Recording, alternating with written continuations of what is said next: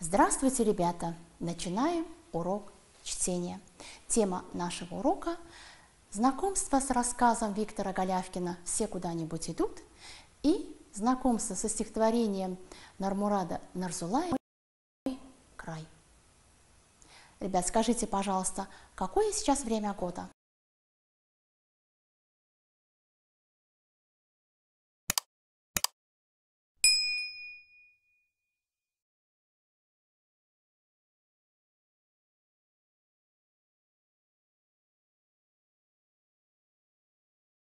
Шуршиха и шуршонок, мама, папа и ребенок. Молодцы, ребята! Мы к уроку готовы. Сегодня я хочу вас познакомить с творчеством Виктора Владимировича Голявкина. Виктор Владимирович – художник и писатель. Родился 31 августа 1929 года в городе Баку в семье педагогов музыки. Окончил художественное училище в городе Душанбе с отличием. Окончил Академию художеств в Ленинграде.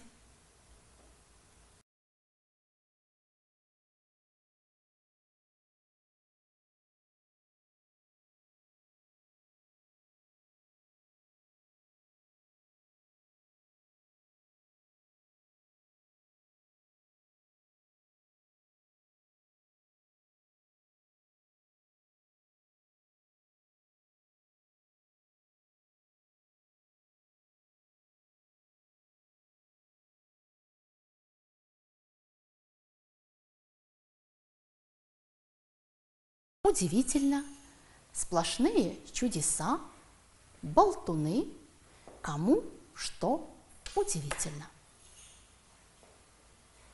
А сейчас приготовьте свои учебники на странице 6. Прочитаем рассказ Виктора Голявкина, который называется «Все куда-нибудь идут». Вы можете читать вместе со мной, а можете следить за моим чтением. Все готовы, ребята? Тогда начинаем. На улице играют ребята. Петя сказал, я иду в магазин. Маша сказала, я завтра в школу иду. Вова сказал, я с братом в зоопарк иду. Катя сказала, а я во второй класс иду. «А я?» – спросил маленький Боря. «Я никуда не иду!» И Боря начал плакать. Но тут Борю позвала мама, и он сказал, «А я к маме иду!» И он пошел к маме. Из рассказа видно, что все куда-то идут. Кто-то идет в магазин, кто-то идет в зоопарк, кто-то идет в школу, ребята. А куда же маленький мальчик Боря? Он даже расстроился, когда он не знал, куда ему идти. Но тут позвала его мама, и мальчик Боря пошел к своей маме. Мама – самый родной, самый близкий человек.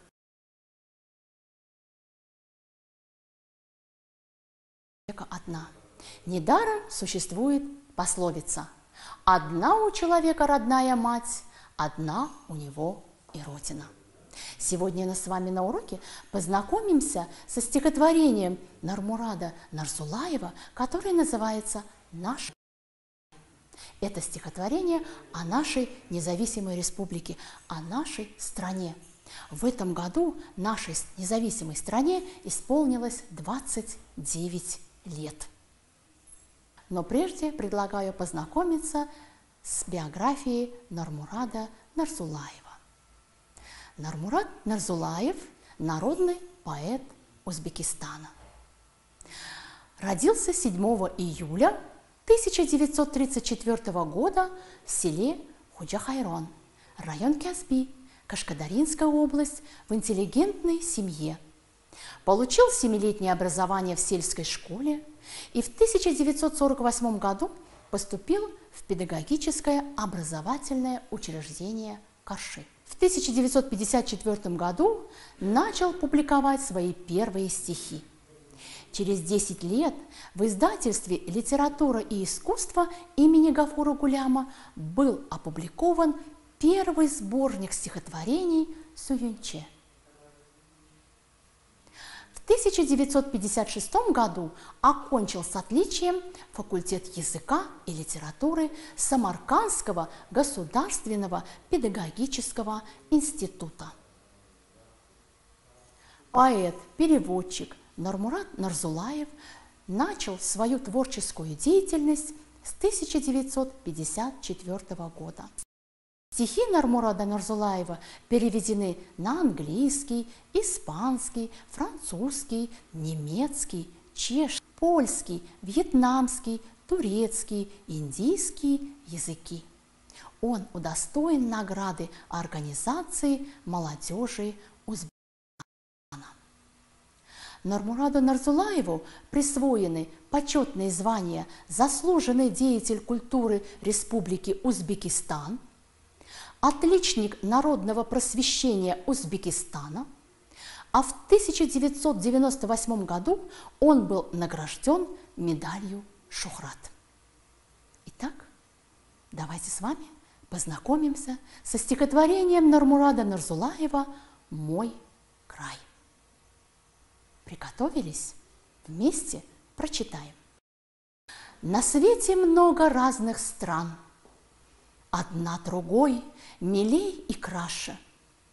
А я влюблен в Узбекистан, и солнце пламенное наше. Мне сердце говорит, спеши, раскрой друзьям души объятия, и я дарю тепло души.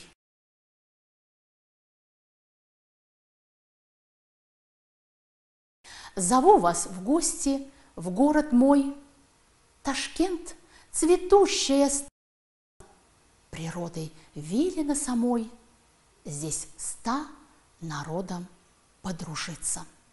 В Узбекистане в дружбе и согласии живут более 130 и народностей. Ребят, скажите мне, пожалуйста, что прославляет в стихотворении ну, конечно же, автор прославляет наш родной, любимый Узбекистан. Сегодня на уроке, ребята, мы познакомились с творчеством Виктора Голявкина, с его рассказом «Все куда-нибудь идут». Познакомились с творчеством Нурмурада Нарзулаева и его стихотворением «Мой край». Siz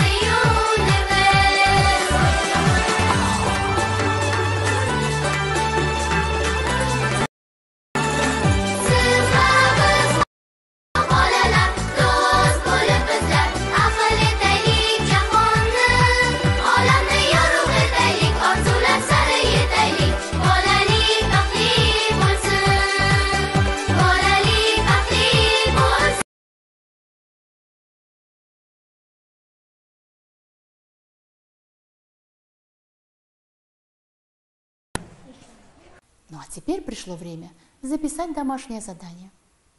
Записываем страницы 6-7, выразительно читать. На этом урок окончен. Молодцы, ребята. До свидания, до новых встреч.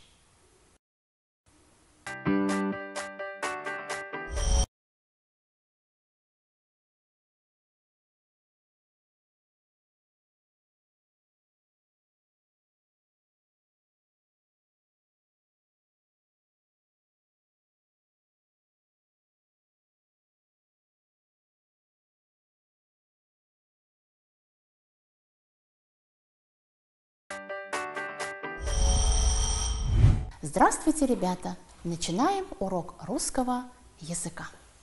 Но вначале мы с вами настроимся на работу. Быстренько проверь, дружок. Ты готов начать урок? Все ли на месте? В порядке. Ручка, книжка и тетрадки. Все ли правильно сидят? Все ли внимательно глядят? Каждый хочет получить только лишь оценку 5. По традиции начнем наш урок с проверки домашнего задания. На дом вам было дано упражнение 10. В этом упражнении вам необходимо было определить границы предложений и озаглавить текст. Я озаглавила текст вот так. Крот в гостях у Димовочки. Проверим, как вы выполнили домашнее задание. Это отрывок из сказки «Дюймовочка».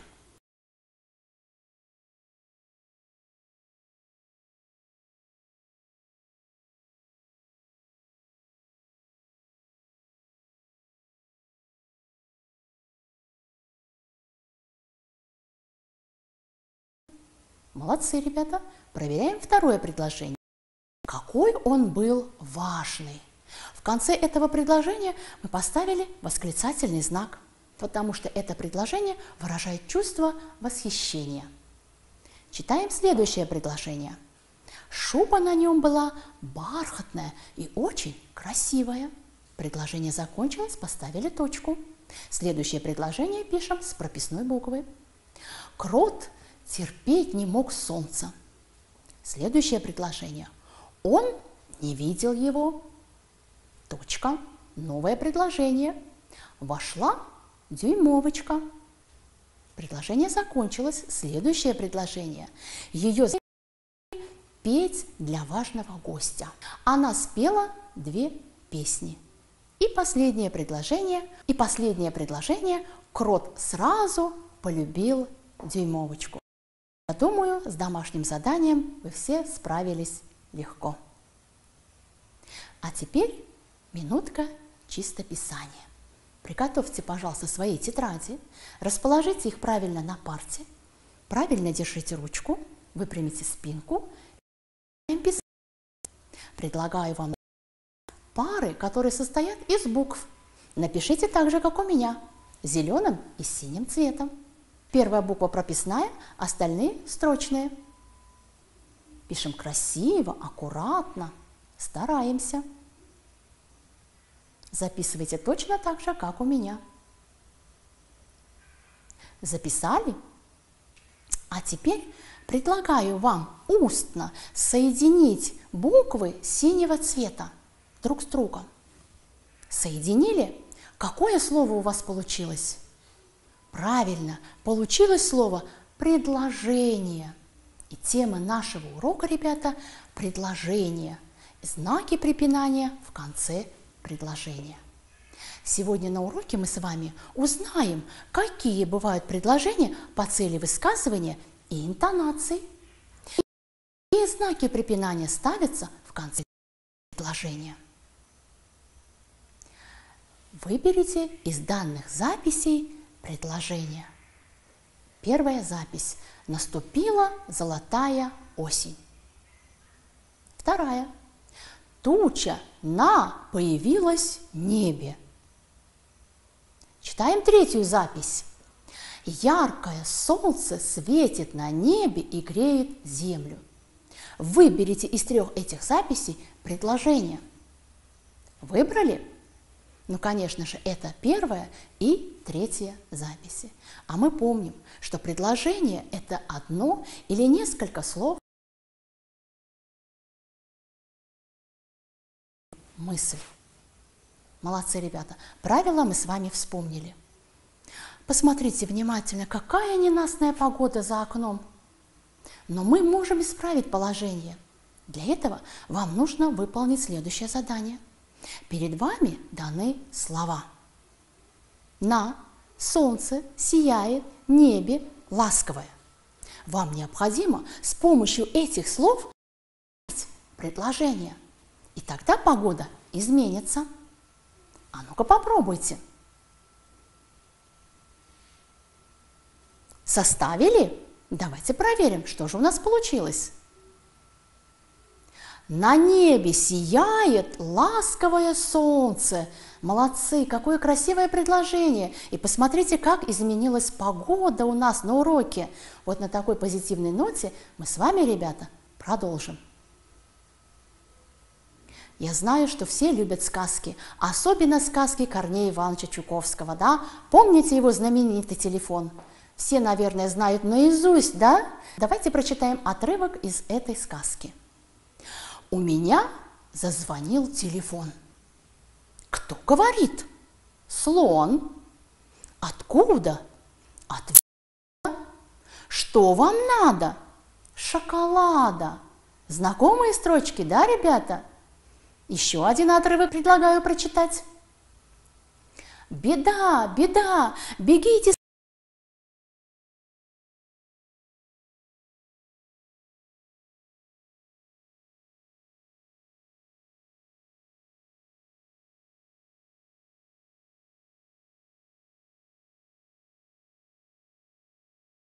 на письме показывают, насколько наша речь может быть выразительной. Если в предложении просто о чем-то сообщается, ставится точка. Если предложение содержит вопрос, ставится вопросительный знак. А если предложение сказано с сильным чувством, то ставится восклицательный знак, ребята. Сейчас я вам предлагаю отгадать загадки на знаки препинания. Вы готовы? Итак, первая загадка. Бурным чувствам нет конца – Пылкий нрав у молодца. Какой это знак, ребята? Догадались? Ну, конечно же, это восклицательный знак. Будьте внимательны, мы продолжаем. Вечно думая над смыслом, изогнулся коромыслом. Какой это, ребята, знак?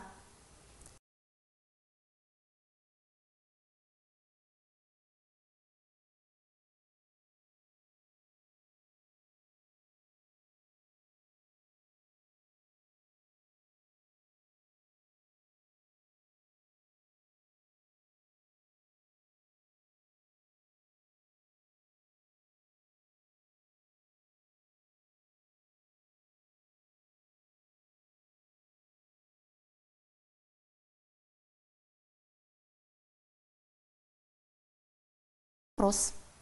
А по интонации предложения бывают восклицательные и невосклицательные.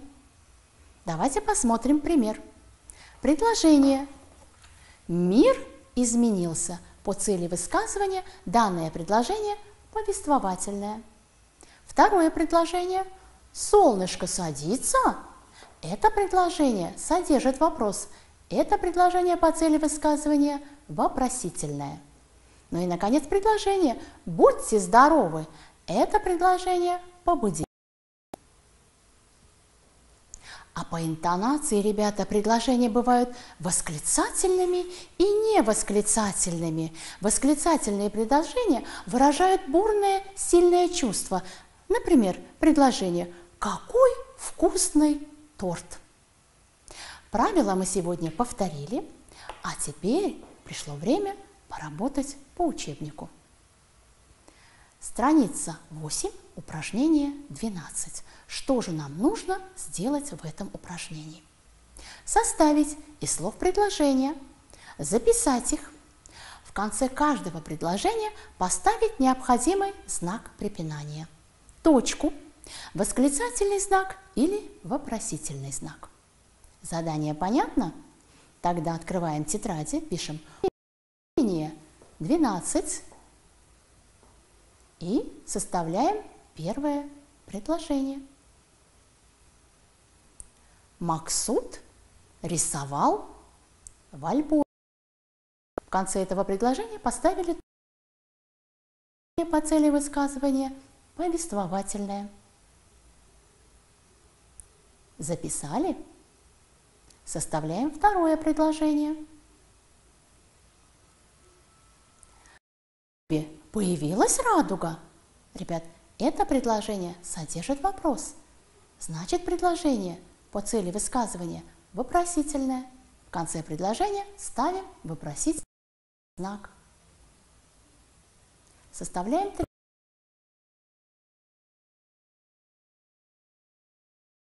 Поспела душистая земляника. Конце этого предложения мы поставили восклицательный знак. По интонации данное предложение восклицательным. Запишите эти предложения красиво, аккуратно в свою тетрадь, ребята. Записали? Продолжаем работу. Следующее упражнение, номер 13, мы выполним устно. В этом упражнении нам необходимо прочитать предложение выразительно, обратить внимание на знаки препинания в конце предложений. Приготовились? Читаем первое предложение. В сентябре началось великое переселение птиц. В конце этого предложения стоит точка.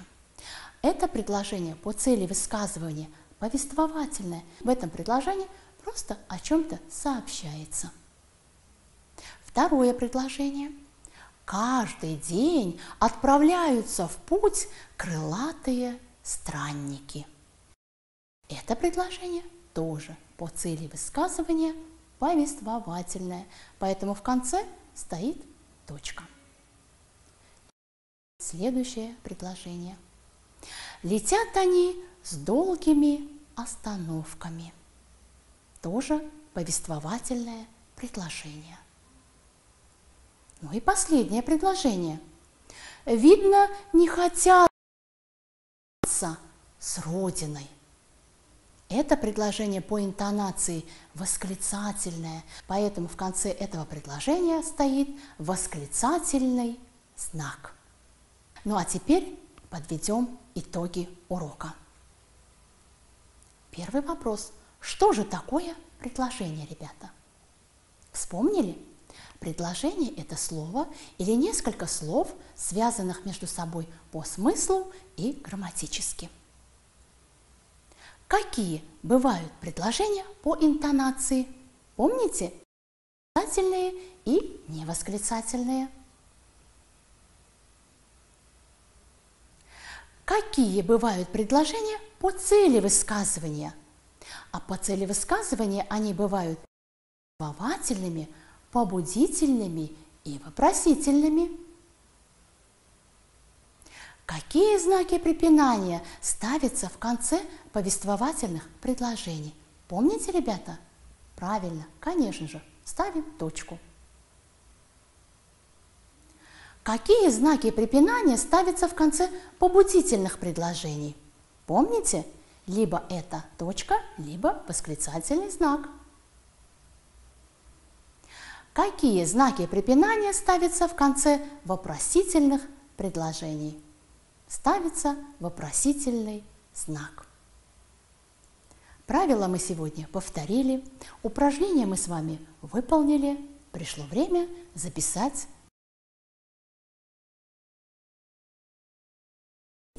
упражнение 14 и выучить правила на страницах 8-9. Итак, что нужно сделать в домашнем задании?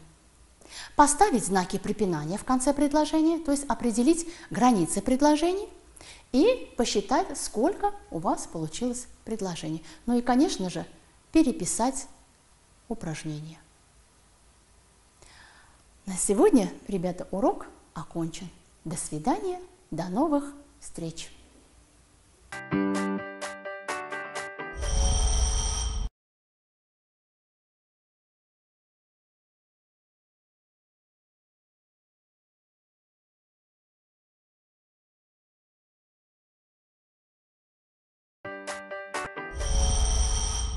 Здравствуйте, ребята! Начинаем урок математики. А тема нашего урока – решение 96 минус 44. Урок, ребята, с математической разминки. Все готовы к уроку? Тогда начинаем. Именины у синицы. Гости собрались. Сосчитай-ка их скорее. Бись птичек дружная семья. Три веселых воробья, три вороны, три сороки черно-белых белобойки, три стрижа и дятлов три. Сколько всех их назови. Ребят, внимательно посчитайте, сколько же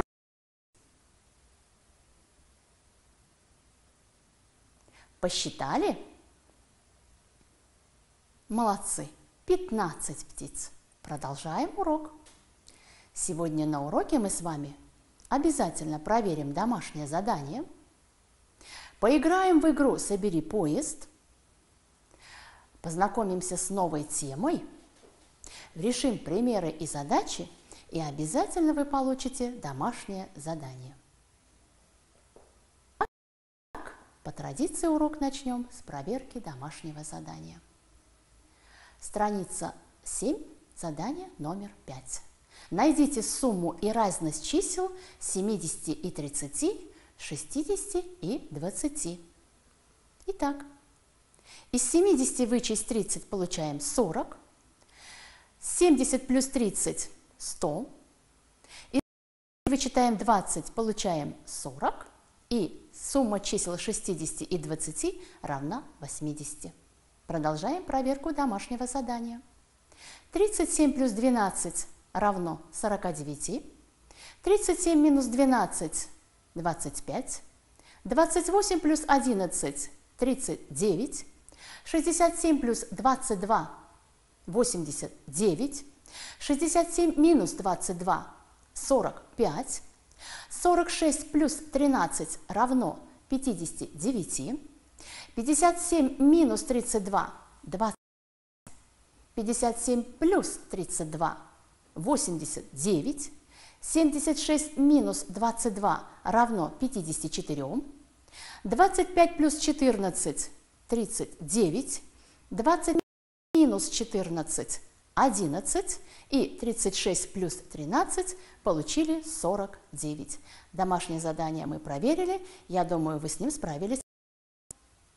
Ну а сейчас вам предлагаю игру, которая называется «Составьте поезд». Вам необходимо расположить вагоны по порядку от 1 до 5. Готовы, ребята? Да, начинаем. Итак, первый вагон. Посчитаем результат. 47 минус 42 получаем 5. Значит, этот вагон располагается на последнем месте. Второй вагон 19 18. Результат равен одному. Мы его располагаем на первом месте. Продолжаем считать дальше. 11 минус 9. Результат равен 2. Значит, мы его располагаем на втором месте. Следующий вагон. Из 12 вычитаем 8. Получаем, правильно, 4. Значит, мы его располагаем на предпоследнем месте. И, наконец, из 15 вычитаем 12, получаем 3 и располагаем данные в третьем месте. Молодцы, ребята! Продолжаем играть. Расположить вагоны по порядку от 6 до 10. Готовы? Будьте внимательны. Из 100 вычитаем 90. Результат равен 10. Располагаем его на последнем месте. Следующий вагон. Из 16 вычитаем 10. Получаем, правильно, 6. Располагаем вагон на первом месте. Следующий вагон. Из 57 вычитаем 50. Получаем 7. Располагаем его на втором месте после 6. Следующий вагон. Из 49 вычитаем 40. Ответ равен, правильно, 9. Располагаем его на предпоследнем месте. Следующий вагон. Из 38 вычитаем 30. Результат равен 8. Все вагоны мы расположили верно. Продолжаем работу. Перед вами необходимо вместо звездочек поставить нужные знаки плюс или минус. Работу выполняем устно. Итак, первый пример. Подумайте, какие знаки нужно здесь поставить. Первый знак плюс, второй знак минус. Что мы получаем? 36 плюс 2 мы получаем 38. Из 38 мы вычитаем. У нас получается 30. Разбираем второй пример. Ставим знак плюс и знак, еще один знак плюс. 63 плюс 7 мы получаем 70. К 70 прибавляем 23, получаем 93. Следующий пример. Складываем 72 и 6, получаем 78. Из 7 вычитаем 40, остается 38. Ну и последний пример. Вычитаем из 58 5, получаем 53. Из 53 вычитаем 3, остается 50. Молодцы, ребята. Ну а теперь пришло время познакомиться с новой темой. Перед нами пример 96 минус 44. Есть два способа решения данного примера. Вы выберете тот, который будет вам удобен. Итак, разбираем первый способ. Число 96, ребята, состоит из 9 десятков и 6 единиц, а число 44 состоит из 4 десятков и 4 единиц. Что мы делаем? Мы из единиц вычитаем единицы, из десятков вычитаем десятки. Что у нас получается? 6 единиц минус 4 единицы у нас 2 единицы получается. Из 9 десятков мы вычитаем 4 десятка, получается 5 десятков. Данные результаты мы складываем и получаем 52. Это первый способ решения примера. Предлагаем еще один способ решения примера. Из 96 мы вычитаем 4 десятка, и у нас получается 56. Из 56 мы вычитаем 4 единицы, и у нас остается 52. Ну а теперь продолжаем работу.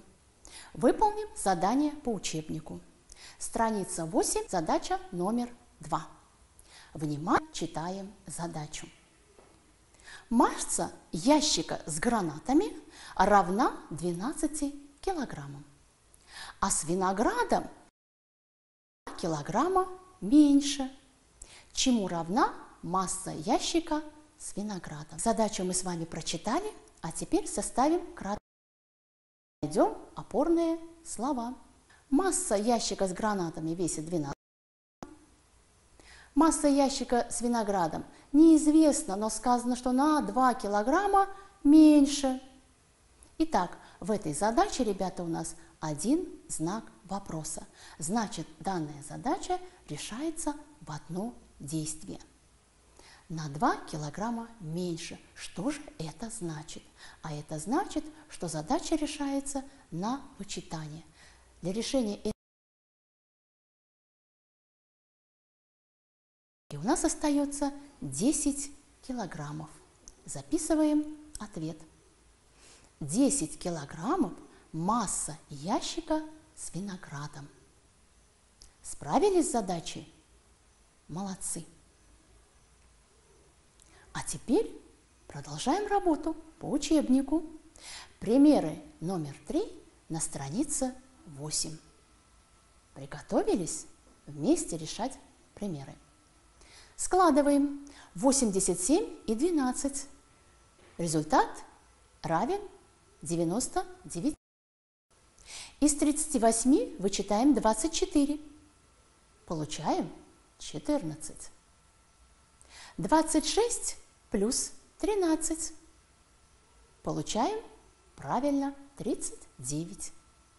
Из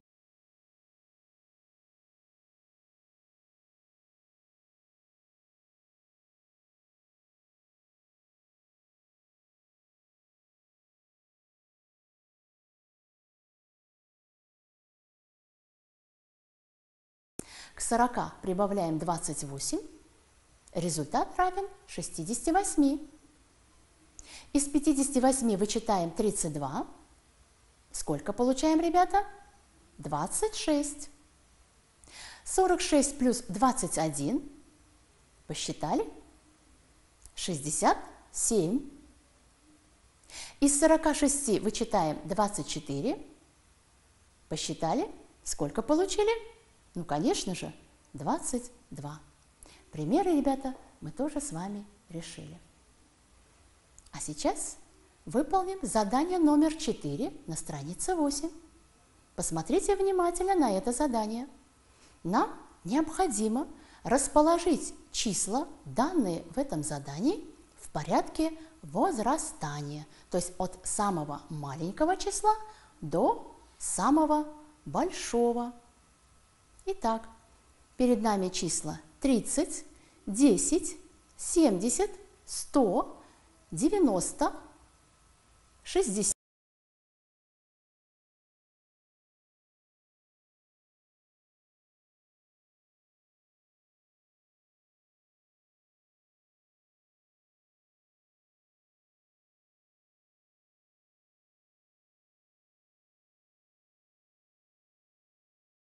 Второе.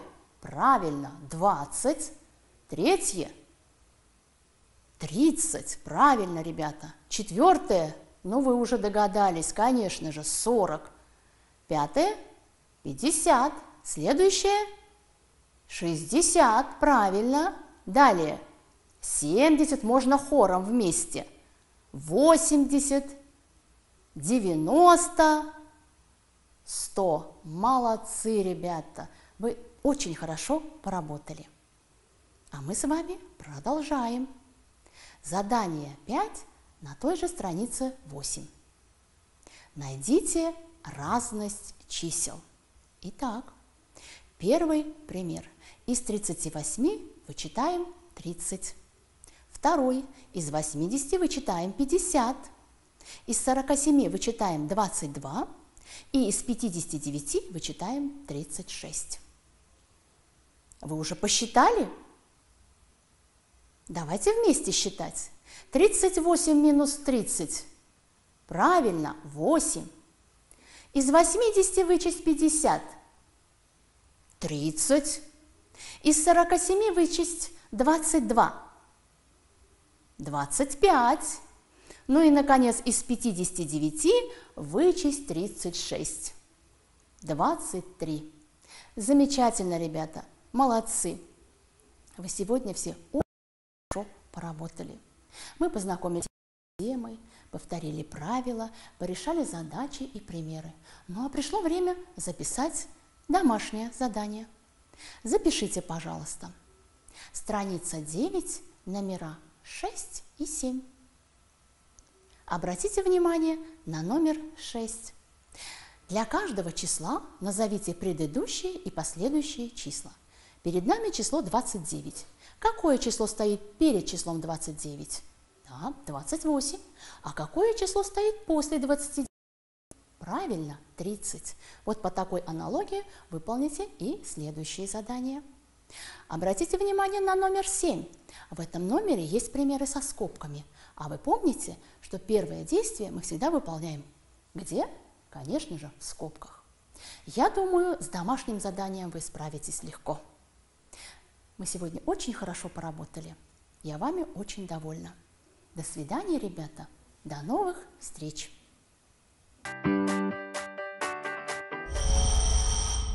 Today we're going to tell you about my favorite fairy friend.